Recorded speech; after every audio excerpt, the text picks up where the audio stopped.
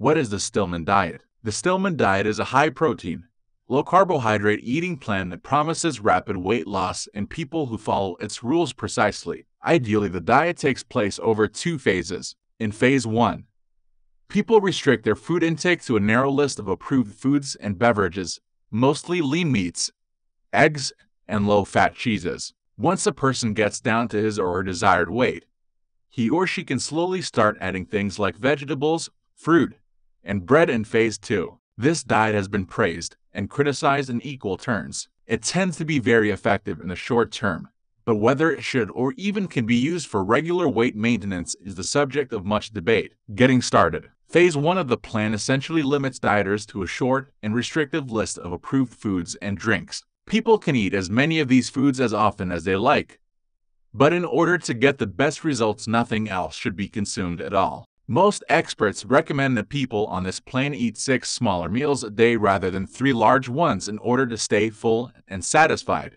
Lean meats, chicken, and turkey ideally with all possible fat trimmed off and discarded are the core of the diet. Any type of seafood or shellfish, eggs, and low-fat cheeses are also permitted. Coffee, tea, and water are fine, too, so long as they contain no sugar, milk, or cream. No butters or oils can be used at all, not even for cooking.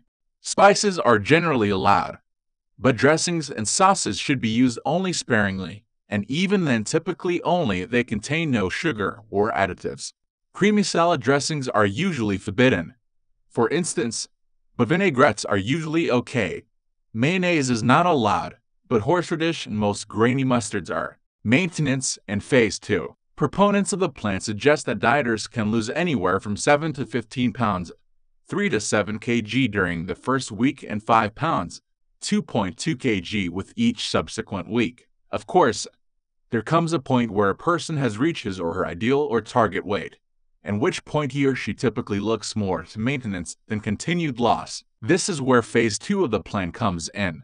Phase 2 instructs dieters to slowly add in sparing amounts of vegetables, fruits, and complex carbohydrates like whole grain breads and cereals. People should monitor their weight every day.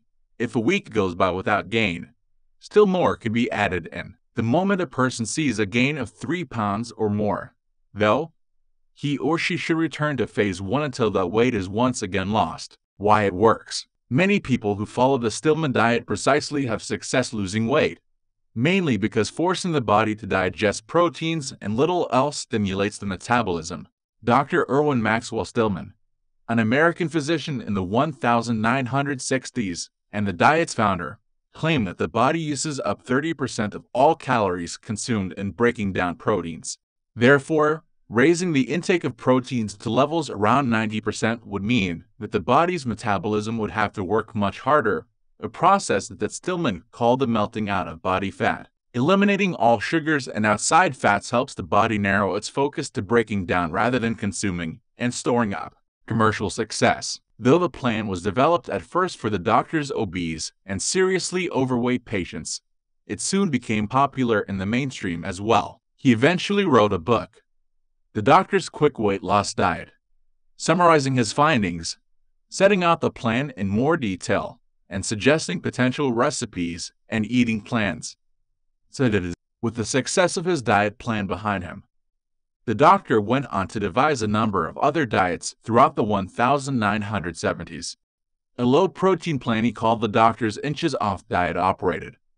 Somewhat surprisingly to many, on principles almost entirely opposite to those in the standard Stillman diet, and focused heavily on vegetarian, non protein foods. His quick teenage diet was a synthesis both regimes and focused on giving younger people a more balanced eating plan that added exercise to the mix. Risks and precautions. For a dieter looking for a concise, easy to follow diet plan that is guaranteed to shed weight, the Stillman diet has obvious attractions. With its focus on protein intake, the diet doesn't include a number of important types of foods. One of the biggest problems people have is vitamin deficiency. It's usually a good idea for people on this plan to take vitamin supplements and capsules to be sure their bodies are getting a good balance of nutrients. Eating only lean meats, eggs, and cheese can work for a short period of weight loss. but it is not nutritionally sustainable for the long term. Adequate hydration is also really important. This diet is relatively low in fiber, which can make constipation a problem.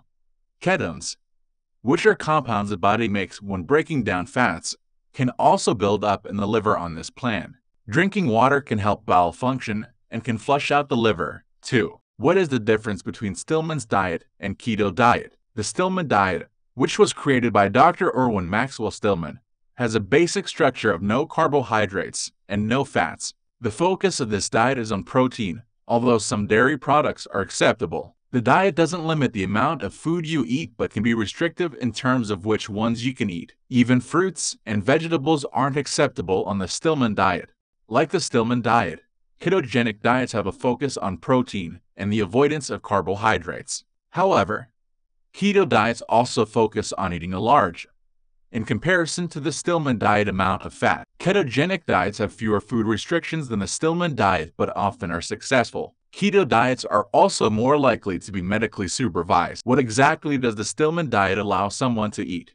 According to a book called The Doctor's Quick Weight Loss Diet, which was authored by Samm Sinclair Baker and Dr. Stillman himself, the diet is an animal-based, high-protein diet. People who opt to use the Stillman diet can eat lean beef, chicken, turkey, fish shell, eggs, and non-fat cottage. They can also use spices, herbs, and Tabasco sauce. Participants of the diet are expected to eat 5-6 small meals per day instead of 3 large ones. The idea is to feel full more often and eat smaller portions. There is far more that a person cannot eat when on the Stillman diet. Dieters cannot have any condiments, butter, or salad dressings, nor can they have carbohydrates such as bread, pasta, or sugars. High-fat dairy products, such as milk or cheese, are also prohibited. Even though poultry is permitted, the skin must be removed. Fruits and vegetables are high in carbohydrates so are not permitted on the Stillman diet. When it comes to beverages, Stillman expected people to drink at least 8 glasses of water per day. They could also have plain tea, black coffee, or diet soda. Does the Stillman diet work? One of the first low-carb diets, the Stillman diet was created for overweight patients the doctor worked with. He discovered that focusing on protein while removing fat and carbohydrates from the diet caused his patients to lose weight very quickly. The short answer is that yes, the Stillman diet works. However, the diet is very dependent upon sticking to a strict food plan. That plan often becomes difficult to maintain long term which means that many people who use the diet often gain back at least some of the weight that they lost. What is ketosis? The diet, like many low-carb diets, relies on the body to reach ketosis. Ketosis occurs when your body doesn't have enough carbohydrates to use for energy. Without the carbohydrates, it turns to creating ketones with your body fat and burning them for energy. Ketosis is healthy for some people but not for others. People who are pregnant or who have diabetes never aim for ketosis. Even healthy people should speak to their doctor before using such a strict diet. How much weight can you lose on the Stillman diet?